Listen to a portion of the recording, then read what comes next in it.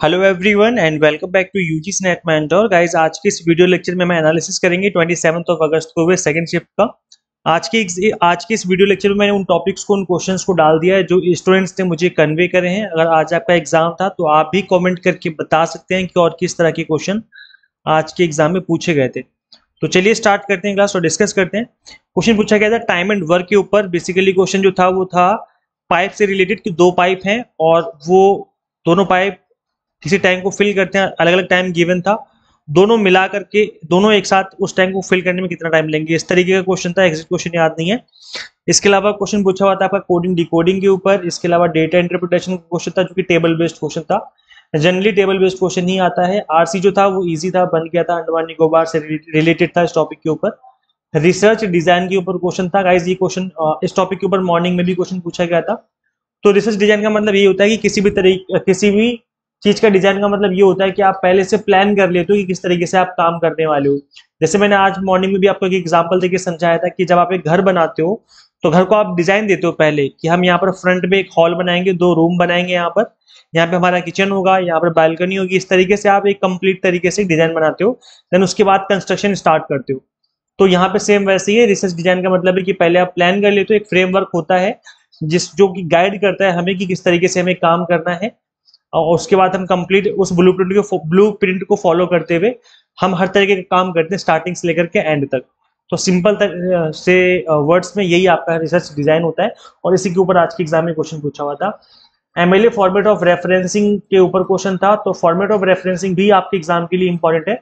तो गाइज़ मैं आपको समझा देता हूँ कि एमएलए देखो, इसकी फुल फॉर्म होती है मॉडर्न लैंग्वेज एसोसिएशन तो मैं आपको बेसिकली समझाऊँगा कि किस तरीके से हम सिटेशन करते हैं, किस तरीके से इसकी रेफरेंसिंग होती है। तो फॉर्मेट ऑफ़ फोर सिटेशन क्या होता है? सबसे पहले स्टार्टिंग में हम लास्ट नेम लिखते हैं ऑथर का फ़र्स्ट नेम बाद में आता है देन उसके बाद टाइटल आता है हमारा, फिर टाइटल ऑफ़ कलेक्शन आता है देन एडिटेड बाय किसका नाम है एडिटर कौन है? Publisher year and page range of entry तो सिटेशन एग्ज़ाम्पल गिवन है ऑथर का नेम जैसे ऑथर का लास्ट नेम जो है हॉग्स वो है देन उसके फ़र्स्ट नेम है लंगस्टन टाइटल ऐसे हो गया मतलब जो भी आपका टाइटल है बुक का, या फिर जो भी आप पब्लिश कर रहे हो उस चीज़ का देन उसके बाद टाइटल ऑफ़ कलेक्शन आ जाएगा यहाँ पर। उसके बाद आएगा किसने एडिट किया है, फिर उसके बाद पब्लिशर का नेम देन उसके बाद यहाँ पर ईयर देन उसके बाद पेज नंबर आई मीन किस जगह पे जो है वो चीज़ मिलेगी किसी पर्टिकुलर चीज़ में। तो इस तरीके से एमएलए स्टाइल होता है रेफरेंसिंग का। इसके अलावा गाइज़ आज के एग्ज़ाम में अर्थ के ऊपर भी क्वेश्चन पूछा हुआ था। वाटर बॉन्ड डिसीज के ऊपर क्वेश्चन था तो इसके अंदर आप देख सकते हैं डायरिया हो गया आपका टाइफाइड फीवर हो गया कॉलेरा हो गया। बोटलिज्म हो गया जेडिया हो गया लेप्टोस्फीसर्स लेप्टोस्पोरिसस हो गया। तो गैस इसके इस तरह की जो बीमारियाँ होती है वो आपकी पानी से होती हैं और ये, ये इसके ऊपर भी आज के एग्ज़ाम में क्वेश्चन पूछा हुआ था। मॉर्निंग में ये पूछा हुआ था कि जो टाइफाइड है वो कौन से किसकी वजह से होता है? वायरस की वजह से या बैक्टीरिया की वजह से या किस चीज़ की वजह से होता है? तो इसका सिंपल सा आंसर ये था मॉर्निंग वाले क्वेश्चन का कि टाइफाइड जो है बैक्टीरिया की वजह से होता है। चलिए गाइस आगे बढ़ते हैं। साइबर सिक्योरिटी पे क्वेश्चन पूछा हुआ था आज के एग्ज़ाम में। नंबर सिस्टम पे क्वेश्चन था जिसमें आपका कन्वर्जन पूछा हुआ था।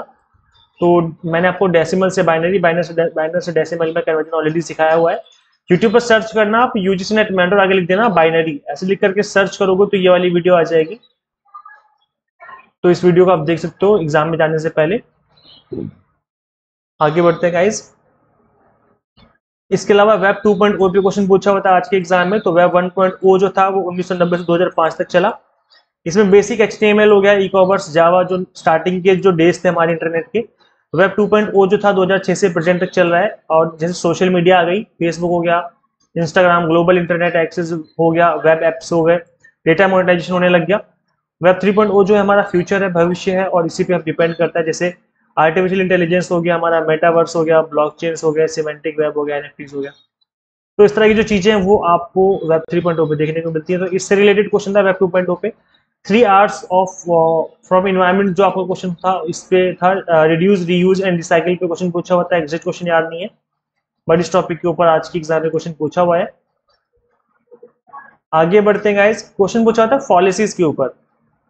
तो पॉलिसीज़ का जो टॉपिक है, वो मैंने आपको अपनी मैराथन वाली क्लास में करवाया हुआ है और आज भी इस मैराथन से 10 से 12 क्वेश्चन देखने को मिले हैं। तो इसलिए काफ़ी इंपॉर्टेंट क्लास है आपके लिए। आप सभी के लिए जिन्होंने मैराथन नहीं देखी है, हर शिफ्ट में, हर एग्ज़ाम में इस मैराथन से एक टॉपिक जो है आपके एग्ज़ाम में बन रहे हैं। और उसका सिंपल सा रीजन यही है कि मैंने आपको सिर्फ़ और सिर्फ़ फाइव स्टार रेटिंग वाले टॉपिक ही इस इस मैराथन में कवर करवाया हुआ है। जैसे प्रॉफिट एंड लॉस तो वो आज के एग्ज़ाम में बना है आपका। इसमें मैंने कवर करवाया है। पॉलिसीज़ मैंने इसमें कवर करवाया है। इसके अलावा वेब 2.0 वेब 3.0 ये भी मैंने इसके अंदर कवर करवाया हुआ है। तो काफ़ी सारी जो चीज़ें मैंने इस, इस मैराथन में कवर करवाई हुई है। मेक श्योर आप इस मैराथन को ज़रूर देखें एग्ज़ाम में जाने से पहले। हाँ ये जो आज की एग्ज़ाम में सीमेंटिक बैरियर पे क्वेश्चन बना और सीमेंटिक बैरियर भी मैंने आपको इसके अंदर कवर करवाए हुए हैं। तो बहुत ही इंपॉर्टेंट क्लास है आप सभी के लिए। इस मैराथन का लिंक मैं इसी वीडियो के description box and comment box में दे दूँगा। इसको एग्ज़ाम में जाने से पहले ज़रूर देखें आप। क्वेश्चन पूछा होता है सीमेंटिक बैरियर के ऊपर। तो सीमेंटिक बैरियर जो होते हैं आपके बैडली एक्सप्रेस मैसेज हो गया सिंबल्स हो गए faulty translation and clarified assumption technical jargon body language या जेस्टर डिकोडिंग में गलती हो जाना, इसको हम सीमेंटिक बैरियर की कैटेगरी में डालते हैं। तो इससे रिलेटेड एक क्वेश्चन आपके आज के शिफ्ट में पूछा होता है सेकंड शिफ्ट में। इसके अलावा गाइज़ ऑर्गेनाइजेशनल बैरियर हो गया कल्चरल बैरियर हो गया, इसके ऊपर भी क्वेश्चन था। तो आप यहाँ पे देख सकते हो ऑर्गेनाइजेशनल बैरियर में ऑर्गेनाइजेशनल पॉलिसी किस तरीके की है, वो भी बैरियर बनाती है कम्युनिकेशन में रूल्स एंड रेगुलेशन गया स्टेटस तो ये जो चीज़ें हैं, आपके ऑर्गेनाइजेशनल बैरियर में आती हैं, इसके ऊपर भी क्वेश्चन था आज के एग्ज़ाम में। काहूत सॉफ्टवेयर पे गाइज़ आज के एग्ज़ाम में क्वेश्चन पूछा हुआ था। तो काहूत सॉफ्टवेयर जो है, वो आपका एक गेम बेस्ड लर्निंग प्लेटफॉर्म है। जब मैं कॉलेज में टीचिंग कर रहा था तो मैं भी अपने स्टूडेंट्स को काहूत का यूज़ करके फाइनेंशियल मैनेजमेंट हो गया। उस टाइम पर जीएसटी नया नया आया था मार्केट में। तब मैं 2018 से मैंने टीचिंग करना स्टार्ट किया था कॉलेज में।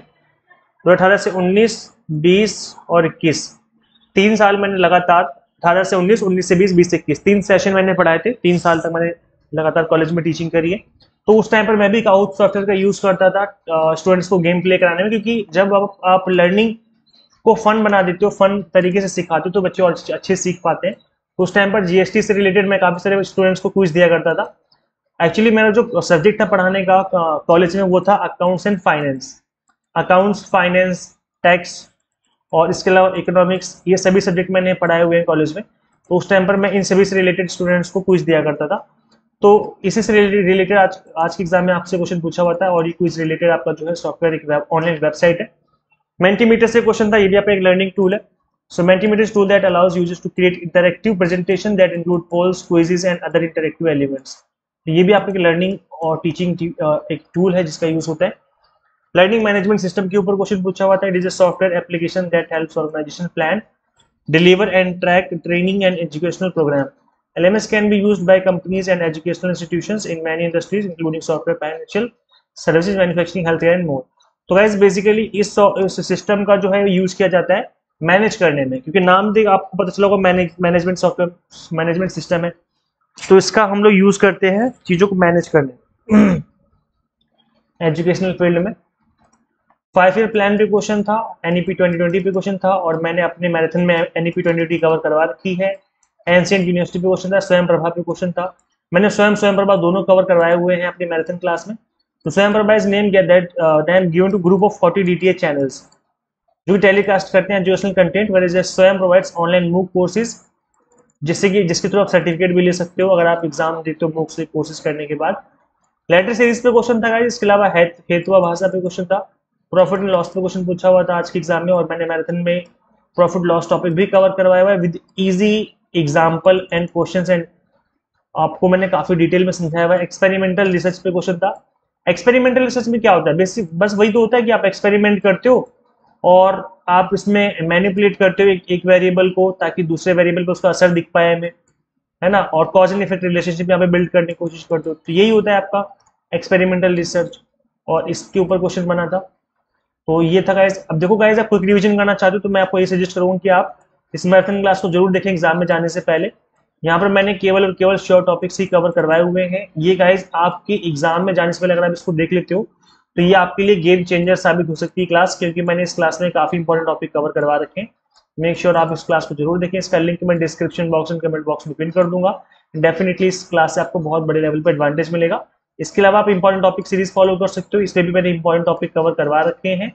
सो आप इस क्लास को भी फॉलो कर सकते हो गाइज़ इन सभी क्लासेस को फॉलो कर सकते हो। इसका लिंक भी मैं आपको description box and comment box में दे दूँगा।